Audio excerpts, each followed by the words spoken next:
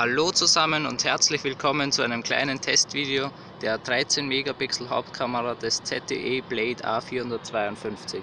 Dieses Video soll euch nur einen kleinen Eindruck der Videoqualität des Gerätes geben. Alle weiteren Infos und den vollständigen Testbericht des Gerätes findet ihr dann wie immer auf technophil.de.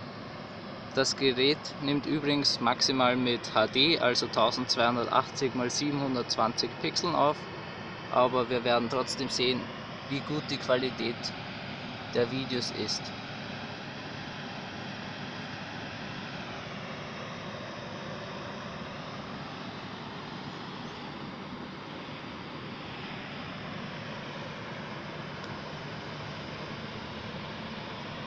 Ich sage danke fürs Zusehen und bis zum nächsten Mal.